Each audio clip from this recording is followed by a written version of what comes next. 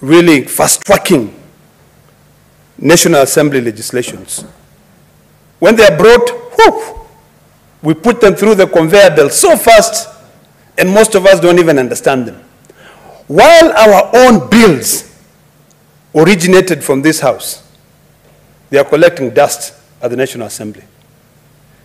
In fact, if you read this bill, Mr. Speaker, you'll get to a point where the National Assembly is given so much powers as a reporting agency. I'll try and look at certain provisions of this bill, which I think the drafters of this bill have thought about, but not really. But they need to expand it. And I really do hope that this time around, distinguished senators can get an opportunity to really internalize this bill.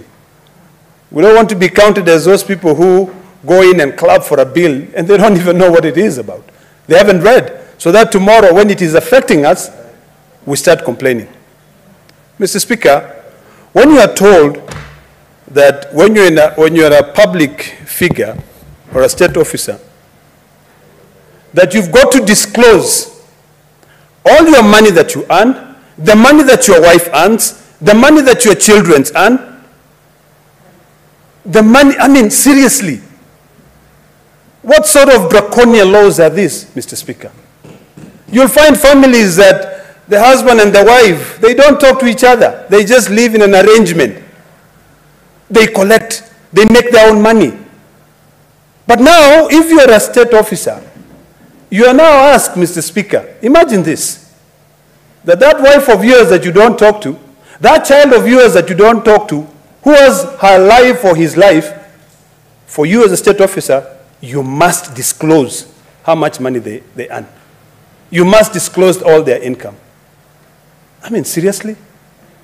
Just because we want to please the World Bank, we just really come up with legislation that don't help us? I long for the time, Mr. Speaker, when we as a country can be able to develop our legislation taking into consideration our culture, how people struggle to be there. You know, if you, if you read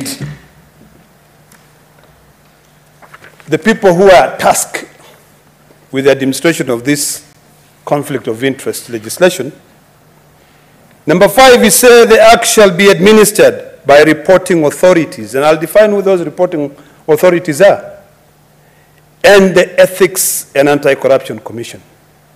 Mr. Speaker, why should we not just look at the EACC Act, go through it together, see what we can change, because no law is static. Things change. We're very good as a country, Mr. Speaker, in drafting legislation. We are very good. We pass them, but they're only good on paper. There's one section which is very utopian in its nature. It says, still on the number six, the function of the commission under this act shall be 6b, develop an effective system of reporting violations of this act. So the EACC goes out and develop a reporting mechanism. And then below in number seven, it says the commission shall in performance of its function under this act have the powers to, number one, conduct investigation on its own initiative or on a complaint made by a member of the public. I wish it went further and say that what are the requirements once you complain, how are you sort of like putting the no on the entire investigating mechanism? When is it reported back to you? Because you made a complaint. You are a consumer of this bill. You've complained to the commission. How does the commission write back to you? We need, because I know this is going to pass, we need to be able to expand that section and amend that section, Mr. Speaker. There's a provision which I think is very dangerous, and all of us must really pay attention to it. Still, number seven, it says, delegate to another person or body by notice in the Gazette any of its powers or functions under this Act in respect to classes of public officers specified by the commission and that persons of the body shall be deemed to be responsible for the administration and management of conflict of interest. Mr. Speaker, that's a very, very dangerous clause. We're already seeing what is panning out there. If you read Article 156 of the Constitution of Kenya, where it gives the powers to protect public interest to the Attorney General. And then the same, when you go to the Attorney General's Act, you will see that he is now given the powers to delegate. And in most cases, he will delegate to the Solicitor General. Mr. Speaker, a very mischievous government will then bypass the Attorney General and goes to the Solicitor General because the Act gives that person the power to delegate. Who is this person who the Commission shall delegate their powers to? If we've set up a commission which is set up under an Act of Parliament, why then not either amend that Act of Parliament or do away? Mr. Speaker, I would propose that this very dangerous clause should be deleted so that the independence of a body and everybody out there will not be confused on the powers of that commission. Allow that commission to perform its function, but not restrictively, but not now create room for it to be abused by setting up another agency that is delegated powers. Because, hypothetically, Mr. Speaker, if the powers that be are not happy with the independence of the commission, then they will just go to the other person who is delegated. It creates room for corruption, which is what we are trying to deal with here, Mr. Speaker.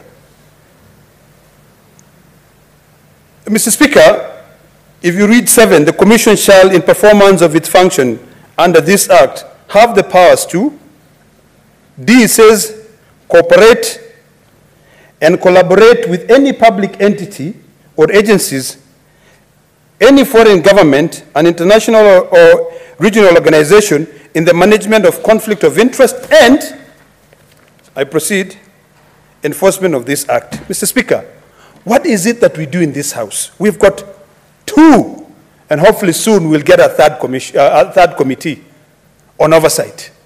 We've got the Public Accounts Committee, we've got the PIC Committee, Public Investments Uh, accounts Committee. I would have hoped that now that you're trying to really deal with the issue of corruption, incorporate the aspect of these two committees to be able to work there. So leaving out the Senate, yet sometimes we have these EACC people there sitting with us in our, in our committees. Why then not say in this aspect that even the Senate, so that you can deal with the corruption in the counties, Mr. Speaker. You know, and uh, later on, I hope we'll have time, I don't know if we'll have time, that I'll be moving my motion on pending of bills. But if you really want to deal with the matter decisively, then you've got to create room for this oversight house to be able to work directly with the commission to punish these governors, to punish these people who are stealing all this money that belongs to the public. In my view, Mr. Speaker, I hold the view that this is not an act that has been thought out clearly. It is an act, it is a bill which is being rushed to be able to please other agencies like the World Bank. Mr. Speaker,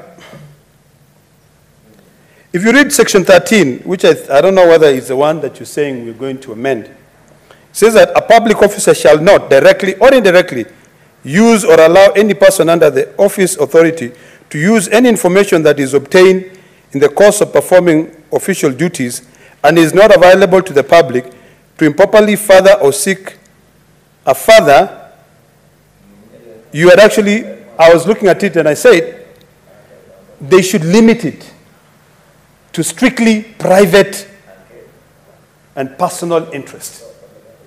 You know, when I, when I was born, uh, Mr. Speaker, oh,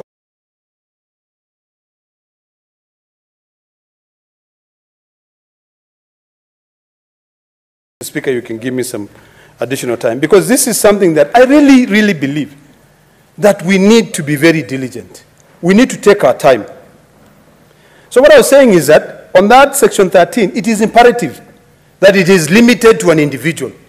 You know, my brother has got no business dealing with my issues. Number 19, Mr. Speaker, a public officer shall not be a party to or beneficial of a contract for the supply of good works of services with his or her reporting entity. Mr. Speaker, I think it is wrong to deny Kenyans an opportunity to be able to perform certain functions. If, Mr. Speaker, hypothetically, Mr. Speaker, you own a company that trades with the Senate, and that company has been trading with the Senate, it doesn't say that Wakili Sigei, Senator of Bomet, is trading with that. Mr. Speaker, I just, I just want us to really put this thing into perspective. It should only be limited to an individual. If it is coming under your name, by all means, I agree you shouldn't do, you shouldn't benefit. But if it is your company, so this issue of indirectly, Mr. Speaker, that ought to be removed. And I, I can dare say, Mr. Speaker, if you go to these developed countries, you will not find such draconian laws. They are so quick to impose them on us, but they don't have them. Mr. Speaker, I'm a firm believer that Section 27 ought to be deleted completely in its entirety. I know the committee was probably recommending for it to be amended, but in my own reading of this bill, where it says, a former public officer shall not, and I'll read A, B, C, and D briefly, act for or on behalf of any person in connection with any specific proceeding, transaction, negotiated, negotiation, or case in which the state is a party and with respect to which the former public officer had acted for or provided advice to the state. Mr. Speaker, the word former means I no longer benefit from it. In fact, if we are clever enough, Mr. Speaker, former staff have got historical memory. In fact, they will better advise someone because they can easily save the public money. In other jurisdictions, Mr. Speaker, former officers set up offices to offer consultancy services. In the United States, Mr. Speaker, former IRS officers who are working with the Internal Revenue Service set up consultancy services, and they will tell you, I was a former officer of the Internal Revenue Service. They help you be able to save your time. They help you negotiate better. Mr. Speaker, this Section 27, I believe, has to be deleted. Section 28, Mr. Speaker, is such other provision that I believe ought to be deleted, where it says a former public official shall not, during the period of two years. Why are you incarcerating me? Why are you making it difficult for me to make a life? Suppose that is the only training that I've had. So for two years, I'll stay hungry just because I happen to have been working in that department. Mr. Speaker, this is draconian and it has to be removed. Mr. Speaker, because of time, I will set other provisions which I think are very problematic. Section 31. Every public officer shall submit to the responsible commission a declaration of his or her income, assets, and liability, and the income, assets, and liability of his or her spouse and dependent children. That is ridiculous dependent children. Yes, they depend on me. But the fact that they are dependent means they don't own, they don't own anything. And if I'm paying for them their college, and maybe they go to college and get a job as a waiter, now I have to follow my child and say, I need to know how much money you are making as a waiter because there's this ridiculous draconian law that we passed that requires me as a public officer to declare how much you are being paid as a waiter. That is ridiculous. Mr. Speaker, I want to request two more minutes. I, I conclude this matter. Mr. Speaker, if you look at 31A, where You have two more minutes. Two more minutes. Thank you, Mr. Speaker. Where the National Assembly is given so much powers. You know, it says that the Committee of the National Assembly, responsible for the ethics of members, is responsible commission for the Cabinet, members of the National Assembly, the DPP, the Secretary to the Cabinet. Mr. Speaker, I propose that that section be amended to state as Parliament, which is both houses of Parliament. It is important, and I'm happy that uh, we have our powers and privileges committees that deals with the ethics of our committees. But I think even in terms of the National Assembly, it ought to be reduced to that on its own. Mr. Speaker, is another very dangerous provision, which is 32.3. A public officer shall within 30 days after ceasing to be a public officer submit a final declaration relating to his financial affairs as of the date he ceased to be a public officer. Mr. Speaker, we have members of parliament who spend a lot of money and running for re-election. At the time when they were running, they had so much money, but they lose, unfortunately. So you want to embarrass that person that after 30 days, he comes in and tell you, I'm now bankrupt? Come on, where is level of uh, respect and privacy to these things? You already, you know he's no longer in, in office. I still also believe that Section 34, Mr. Speaker, has also got to be repealed. I, will, I invite uh, members of uh, the Senate to go read through that. The other one, which, Mr. Speaker, is very dangerous, is 39. If you read 39 2A, Mr. Speaker, it says, a reporting authority and the commission shall not conduct concurrent investigation over the same complaint. Mr. Speaker, we are two distinct houses. There is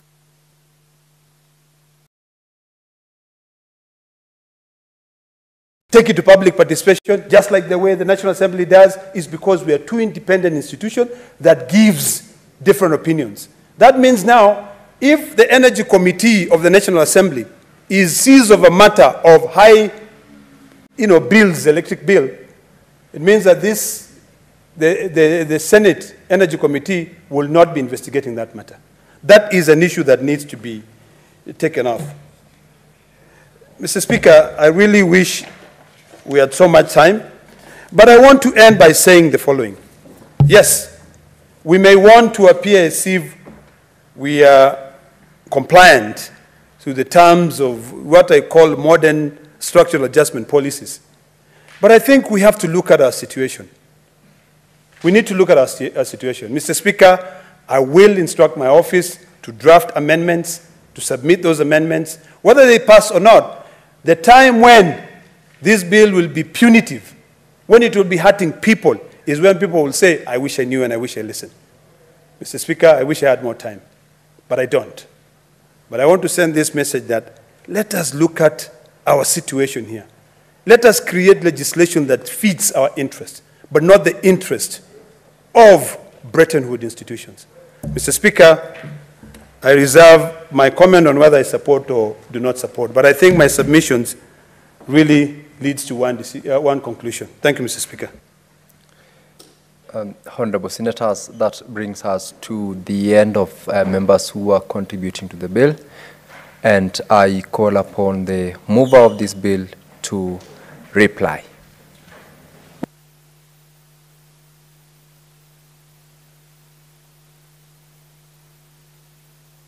Give the majority leader the microphone. Proceed, uh, Major. I have a mic now, I believe. Thank you, Mr. Speaker. Mr. Speaker, I want to thank uh, colleagues who have taken time to respond and uh, share their thoughts on this bill. They are as far and wide as you can imagine in a house of 67 legislators. Some agree, others disagree, and that is the essence of democracy, Mr. Speaker. Senator Ledama Ole Kina has gone into the length and the depth of this uh, bill uh, it made me very curious to know what business is this that he's doing, which he doesn't want uh, many other people to know, uh, Mr. Speaker. And yet I know him to be just a humble farmer, uh, Mr. Speaker, who goes about his dues, his business in a honest way. Uh, Mr. Speaker, there are very useful insights that have come from our colleagues uh, listening through the presentation. From you as the chair of the committee, and I've had the opportunity to read through what you have proposed actually as a committee of justice and legal affairs, various amendments, Mr. Speaker. Uh, but curiously, uh, like Ledama says, and it's something which I want to encourage any chairperson of, the of any committee. And this is a trick that we have used as a house over the years, which unfortunately some of our chairpersons uh, are yet to appreciate, uh, Mr. Speaker, and this is something you need to do.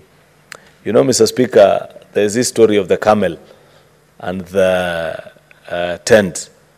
The camel only asked to be allowed uh, to just have its head shelter because of the sweltering heat of the desert. But before long, Mr. Speaker, it had its whole body inside the tent by pushing in small by small.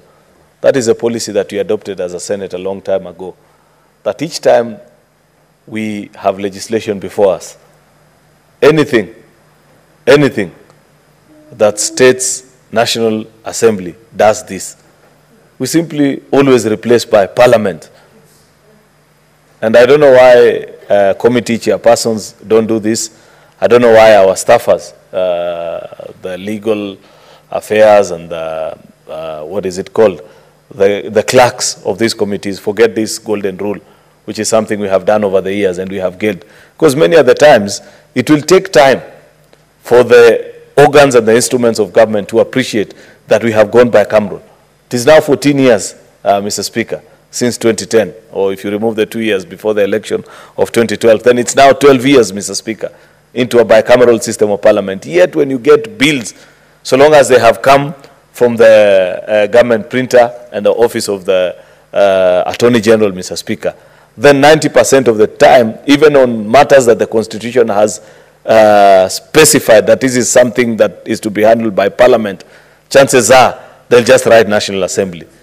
Uh, and sometimes I don't know whether it's uh, mischievous on their part or it's just a part of lazy drafting, uh, Mr. Speaker, because many are yet. Of course, I want to believe that this is an effort of copy pasting, uh, Mr. Speaker, most of the time, because you know how people work in this country.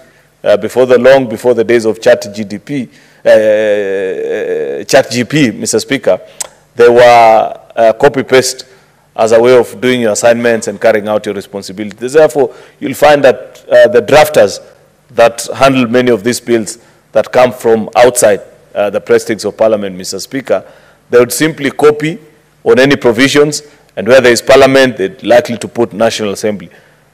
Many are yet to appreciate, Mr. Speaker, that those two uh, names are not synonymous anymore, like was the case before 2010, uh, Mr. Speaker, that they are distinctly different. And I want to encourage uh, our drafters, both our members of various committees and the chairpersons, and even uh, members of staff who work with our committees, that so long as it's not a constitutional provision, and this will only be limited to money bills, uh, Mr. Speaker, uh, and even that we will get to slowly by slowly, uh, Mr. Speaker, eventually. Always, when there is any provision, if it is being stated like uh, Senator Ledama was pointing out on the, uh, the committee that is being set up, that the National Assembly Committee responsible for this, the obvious amendment that I expect was a deletion of that clause and in putting it with Parliament. It makes it uh, plain and simple and, and people appreciate and move away uh, from this. Senator uh, Crystal did mention something which I totally agree with it on the overall objective of this bill, Mr. Speaker. It is not for want of good laws that we continue to struggle with the challenge of corruption and conflict of interest and all these things, uh, Mr. Speaker. We have a values problem, and that is a challenge. People are not corrupt because there is lack of good legislation, Mr. Speaker, that there is no enforcement and so on and, and so forth.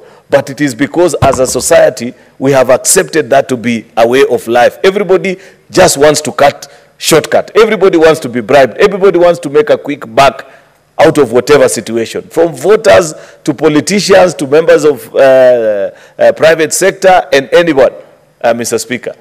There are very few people, uh, Mr. Speaker, unfortunately, in this country, who can stand and say no and just do the right thing.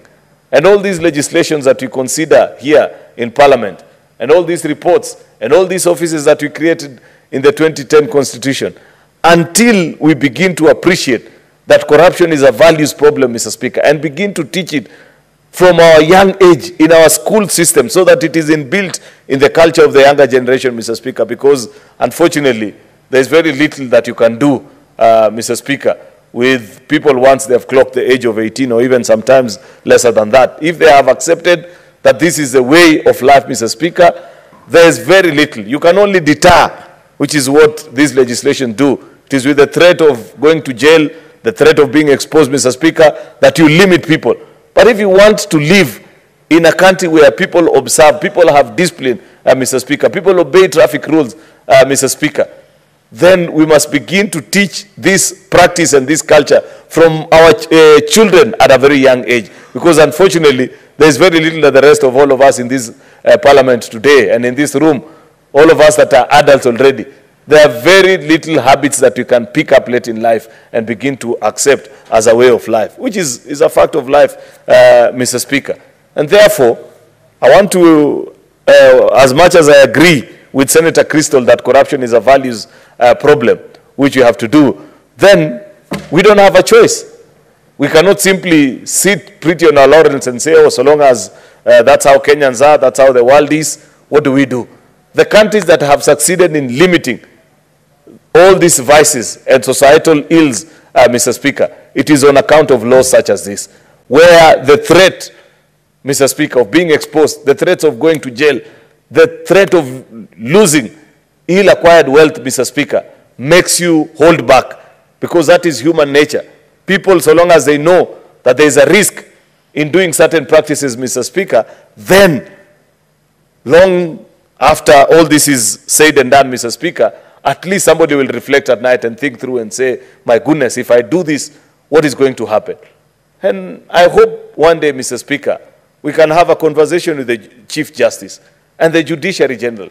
Because I have a strong feeling, Mr. Speaker, that that circuit is yet to be complete. I know that previously at the Bomas of Kenya, there was a conference, Mr. Speaker. If you remember the infamous conference where former President Uhuru quipped, what do you want me to do? That was a conference that had brought together all the instruments that are involved and all the state agencies that are involved in this fight against corruption. You had the ODPP there, you had EACC, you had the DCI, you had the judiciary, and uh, the legislature. I'm not sure if they were uh, represented at that particular conference, Mr. Speaker, because we must also begin to ask very difficult questions of our judiciary. How can they keep on coming back to us and tell us that, oh, it is on account of poor investigation, is because the case are not properly handled, that the conviction rate is so minimal, Mr. Speaker? How comes it is so difficult to nab uh, these people that are engaged in these vices? Yet eventually, we know that at the end of the day, those, those courts in the little uh, magistrate courts and the high courts, Mr. Speaker, these cases drag on forever. I was watching news today, uh, Mr. Speaker, and I was shocked that from the 2013 case of that imposter of a police uh, officer, I think it was called uh, Waiganjo, that today actually the High Court dismissed that case. Somebody that even a kindergarten kid knows in this country that this was an imposter. He was exposed. He was in police uniform. He was doing police duties. Police officers confessed, but a judge dismissed the case, Mr. Speaker. And so long as, and you know, the greatest disservice we ever did to ourselves, Mr. Speaker. And this is a question that one day the judiciary, in the passage of the 2010 Constitution, succeeded to insulate themselves against any form of scrutiny, Mr. Speaker. That so long as a judge knows that whatever decision they make in the course of their duty, there is nothing that can be done to them, uh, Mr. Speaker. We will continue to have this kind of struggle. We must ask of our judiciary, with all these billions that we continue to send uh, to the judicial systems of this country. How comes the convictions rate are so minimal, Mr. Speaker? If you say it's a case of investigation, poor investigation, surely you want to tell me that there is not even one uh, good investigator, that there is no one good case that EACC has handled that a judge can look at and say this is an open shut case, call all the witnesses, have the responses filed, and set a conviction, uh, Mr. Speaker. So that we know even this simple uh, traffic offenses, for example, Mr. Speaker. You have watched many times. EACC raid police officers on the, by the roadside. If you want to kill that vice, how comes after that expose, you will never hear of that case again once they have been taken to court, uh, to court, Mr. Speaker? It's because people know what happens. That the judges will most likely tell you, wait for the pressure to ease off. They are likely to be out on bail. Then after maybe a few months, somebody reaches out to the judge from the accused side and say, okay, you know you are guilty, but if you can get me this, we must speak about these issues, Mr. Speaker. Because eventually, if we are to win this war and have a country that is governed by the rule of law, uh, Mr. Speaker, we must be able to look at our judges right in the eye and tell them, you guys are doing a disservice to this country. Your handling of corruption cases is wanting. Therefore, Mr. Speaker, as we reflect and do this particular law, the conflict of interest bill, and it's good because uh, judges are also state officers, Mr. Speaker, that will, they will also equally file their reports. And it will be possible to look back and tell what is it that you have done? What business have you transacted? Because unfortunately, people know corruption in this country only through the eyes of politicians. They only see members of parliament and maybe cabinet ministers. Yet, Mr. Speaker, to complete this cycle, we mean this circuit actually, we must have a conversation about what is it that we missed in our judicial system, Mr. Speaker, that will eventually help us find people. How many times have you seen DCI officers or EACC officers raid a particular county office, a chief officer or a CEC found with money that they have collected as bribes, Mr. Speaker. Yet you know that case will never get anywhere. So, Mr. Speaker, I want to encourage colleagues, much as you may have one or two reservations about this particular bill and the overall thought process of trying to um, uh, tighten the reins and tighten the noose around all these challenges that we have with our country, Mr. Speaker, and trying to make us a, a better nation, a nation that is governed by good values, Mr. Speaker. Let us support this bill. Propose amendments, as Senator Ledama has said. Make it better, make it work for everybody. In fact, tighten it even around judges, uh, Mr. Speaker. We want to put it in law so that they go and strike it again in court so that then eventually the people of Kenya can know the challenges that we are having with our judicial system. In fact, I wish as a committee, Mr. Speaker, you had taken time to find ways of also making it possible for judges to declare uh, conflict. I know it is properly stated, oh, state officers and the rest, but it needs to be specific, uh, Mr. Speaker, including uh, mentioning whenever people reach out to them when they are handling certain matters, Mr. Speaker, so that they report and it is known that you cannot uh, do this or the other, Mr. Speaker. Therefore, uh, Mr. Speaker, with those very many remarks, I beg to uh, reply and thank colleagues who have taken time to contribute to this bill. Mr. Speaker, sir, eventually, uh, in accordance to Standing Order number 66.3, I beg to request that the putting of a question be deferred until a later date. Thank you. Uh, pursuant to the Standing Order 66.3, the putting of the question to this bill is deferred to the next sitting of the Senate. Clerk, you may now call the next order. Order number 13, motion, declaration of cattle rustling as a, and banditry as a national disaster and establishment of a special fund for victims. Resumption of debate interrupted on Wednesday, 6th March 2024, morning sitting. This uh, motion is deferred to the next sitting. Uh, read the next order, clerk. Order number 14, motion, status of pending bills in counties. Senator Ledama Olekina, proceed to move this motion. Thank you, thank you, Mr. Speaker. Mr. Speaker, I beg to move the following motion. Aware that as of 31st December 2023, according to the county government's budget implementation review report for the first half of the financial year 2023-2024, county governments had accumulated a total of Kenya shillings 1.634 billion in pending bills, with Nairobi County accumulating the largest share of Kenya shillings 107 037 053 billion, followed by Kiambu and Mombasa counties at Kenya shillings 5.711614412 billion and 3.922131837 billion respectively. Concerned that the accumulated pending bills in counties have significantly affected service providers in the counties leading to closure of businesses, stalling of county projects, adversely affecting economic growth in counties, service delivery, and ultimately showing, slowing down the country's economic growth. Further, concern that most of the service providers in the counties are battling court cases launched against them by their financiers and suppliers, while others are languishing in poverty, exacerbated by the increased cost of living, with increased mental health diseases, incidences, and other dying as a result of the effects of colossal amount of debt owed to them by county governments.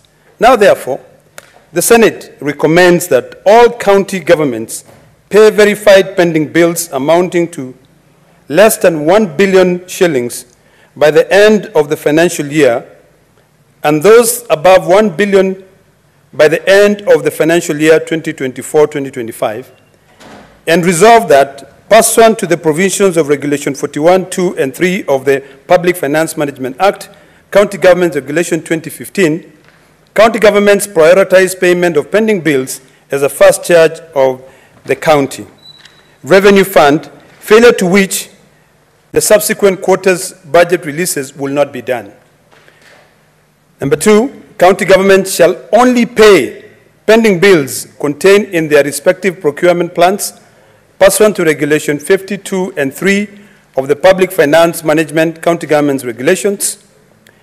Number three, supplementary budgets for the county governments are prepared in the third quarter to curb instances of arbitrary reallocations out of the approved budget estimates. And four, county government shall conduct public participation while formulating supplementary budgets, failure to which the controller of budget shall not approve the supplementary budget. Mr. Speaker, today, one lawyer in Kenya instructed auctioneers to go and attach Nairobi County vehicles.